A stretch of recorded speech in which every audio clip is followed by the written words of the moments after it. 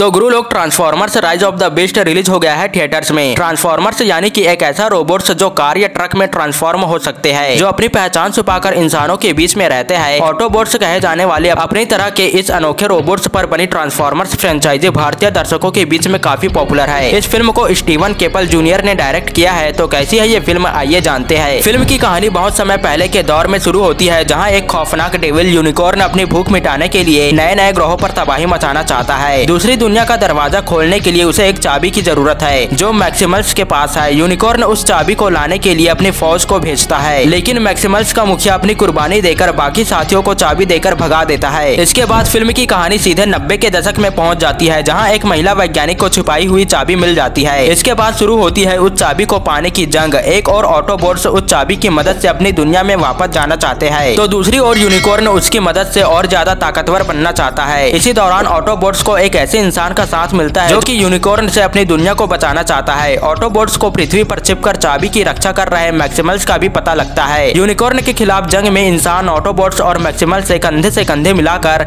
एक दूसरे की मदद करते हैं। अब लास्ट में कौन जीतता है और आगे क्या क्या होता है, ये सब जानने के लिए आपको ये फ़िल्म देखना पड़ेगा। ट्रांसफॉर्मर्स फ्रेंचाइजी की फ़िल्मों के चाहने वालों के लिए ये फ़िल्म एक ट्रीट की तरह है। इसमें ऑटोबोट्स और मैक्सिमल के एक्शन सीन्स आपको हैरान कर देगा। इसके अलावा फ़िल्म यह मैसेज भी देता है कि अगर दो लोगों का दुश्मन एक है तो आपको एक टीम बनाकर उसका मुकाबला करना चाहिए। फिर चाहे आप इंसान हो या रोबो फ़िल्म की कहानी शुरुआत से ही आपको बाँध लेती है, जबकि सेकंड हाफ़ में कहानी काफ़ी तेज़ी से आगे बढ़ती है। फ़िल्म में एक्शन और इमोशन के साथ कॉमेडी का टड़का भी लगाने की पूरी कोशिश की गई है। फ़िल्म के शुरुआत से लेकर अंत तक आपको एक्शन ही एक्शन देखने को मिलता है, और सच कहूँ तो भाई, इस फ़िल्म का एक्शन ज़बरदस्त है, जिसे देखने में मज़ा आ जाता है। फ़िल्म का वी एफ़ और एनिमेशन काफ़ी गजब का है, जिसे देखने पर सभी चीज़ें रियलिस्टिक फील होती है। इन्हीं सभी फ़िल्मों से हमारे इंडियन एनिमेशन कंपनी वालों को कुछ सीखना चाहिए इनसे कि एक रियलिस्टिक एनिमेशन कैसे किया जाता है। आदि पुरुष मैं तुम्हारी बात कर रहा हूँ और एक तरह से देखा जाए तो हम सभी लोग हॉलीवुड की फ़िल्में देख कर ये तो पता चल गया है की वी और सीजीआई होता क्या है। अगर हमने ज़्यादातर हॉलीवुड की फ़िल्में नहीं देखे होते तो आदि पुरुष के इस वी